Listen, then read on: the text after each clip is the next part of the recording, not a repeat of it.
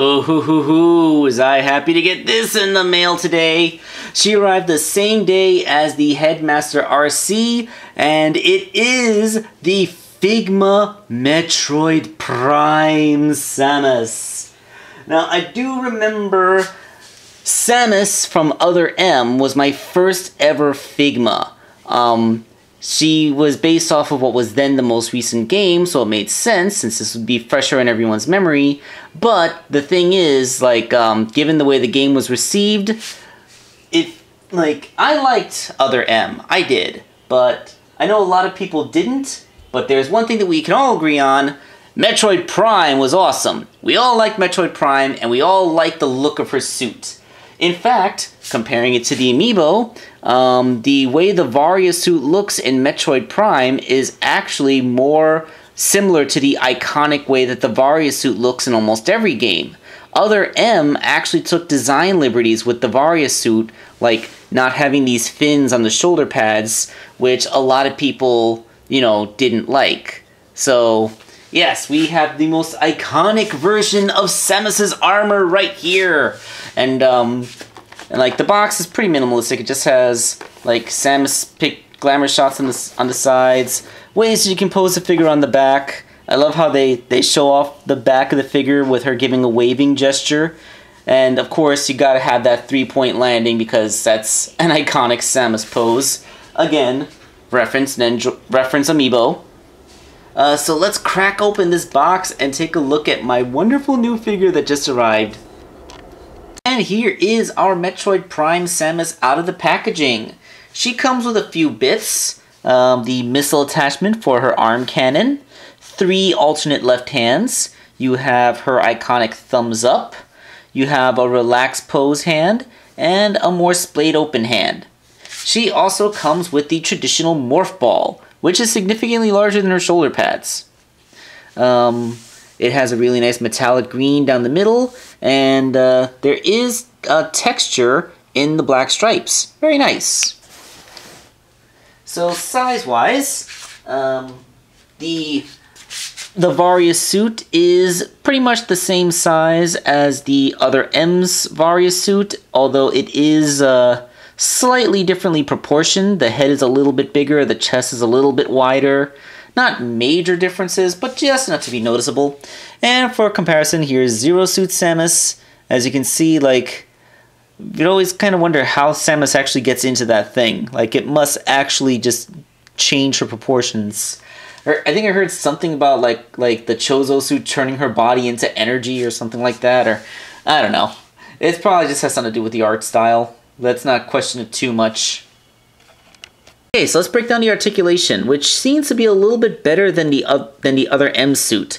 Uh, first, her head at first seems a little bit restricted. It can turn left and right a bit. It can cock a bit, look up and down. But then they put they put the neck on this extendable bit, so she can get much more up looks and much more down looks. It looks a little bit weird from the back because you can see the gap that accommodates the this articulation, but from the front, um, with the extended neck covered by the helmet, it actually looks pretty good. And you're only really going to use that for, for more extreme poses like, um, I'll show you in a minute. Uh, her shoulders are pretty unique. They're like on a ball joint hinge. And like, uh, there's a ball joint on up here. And then under here, there's like a second ball joint and you can actually get her arm all the way up into a tree pose, which is pretty cool. And like the way they did it, a gap can form, but you can kind of futz around and reconfigure the the the thing. Like I, I got a gap going on here, but if I if I futz with the internal anatomy of this shoulder joint, I'm pretty sure I could get it to look like the the other arm. But you don't really tree pose Samus very much. You wanna you want to do things like get her arm up in front of her like this. That looks cool. Uh, there is, you know, there's basically Figma joints everywhere. So um, there's, you get a bit of a bicep swivel. It actually goes outwards better than inwards. Don't know how I feel about that. Uh, the elbows go just a little bit beyond 90, not that far beyond. Actually, I think this might be one of the areas where the other M suit has her beat, probably because of the sculpt of her bicep armor makes it easier for her to get a deeper curl in.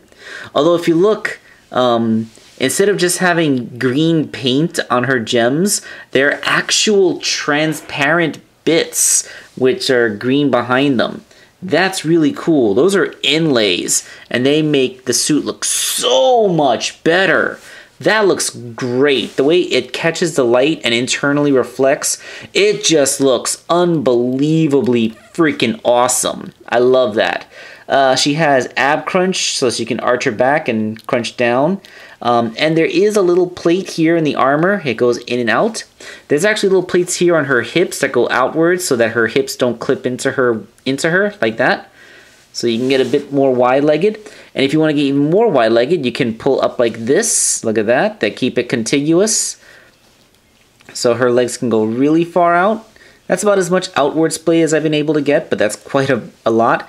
Really, that's to accommodate high um, high leg poses like this, so you can bend it back down for her iconic, you know, how Samus is often depicted kneeling down like that. And then you can you can get a good, yeah, the extending neck thing helps with getting her to look back up from her crouching position. Yeah, it looks great.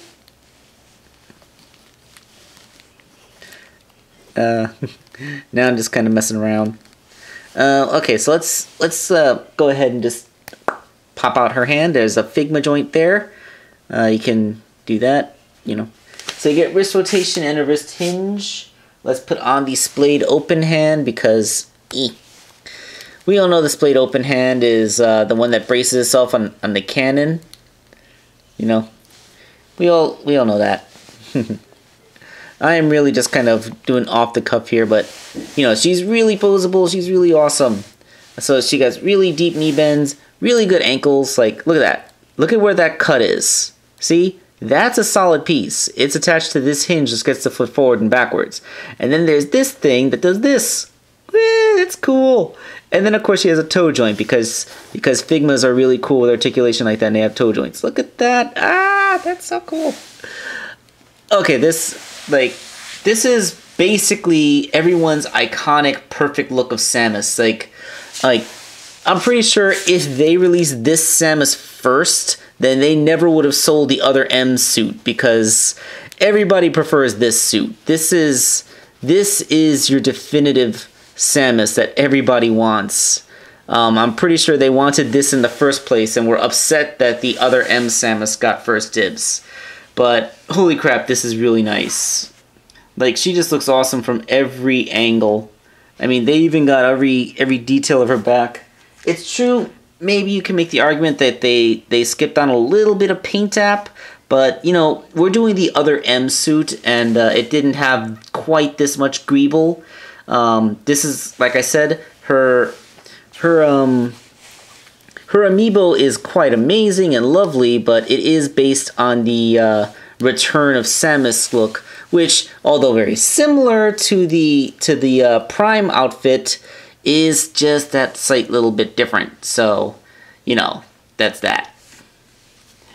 All right, so this has been my review of the other M Samus. She it, um other M. This is well, actually, I guess I should show off one more thing. Uh, it's funny. That this one doesn't come with the pews that the that the other M costume had.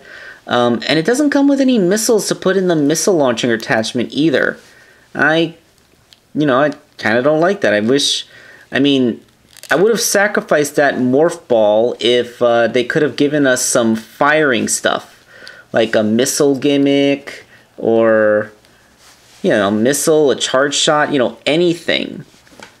But yeah. I mean, you gotta admit that at least that looks cool. So, yeah, this is the she she's gonna cost you about 70 bucks and then to uh, have her shipped in from japan is probably gonna bring it up to 80 so she's not a cheap figure but then again she's a figma if you're collecting figmas you're not looking for cheap figures but gosh darn it, she is just so damn awesome. So I would, if you're really a big fan of Samus, this is the definitive one. This is the closest thing to a perfect Samus figure that we're probably ever going to get. And I would totally recommend her to huge Metroid fans such as myself. Alright, this is Wake Angel 2001, and I'm signing off.